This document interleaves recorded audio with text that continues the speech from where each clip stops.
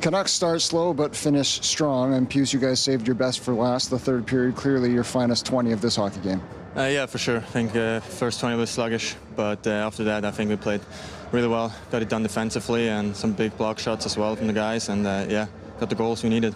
You got two goals in this game. Uh, your first one is the eventual game-winning goal after some nice work behind the net by uh, Conor Garland. Yeah, I was, you know, want to get on the forecheck like that, and uh, Gar's always good patience, and uh, he finds those little spots, and uh, yeah, bounced in. You've gone from, with JT out, a top six winger to the second line center. Uh, clearly, the ice time's gone up three, four minutes a game, and you're producing. How have you thought of your play uh, since JT left the team?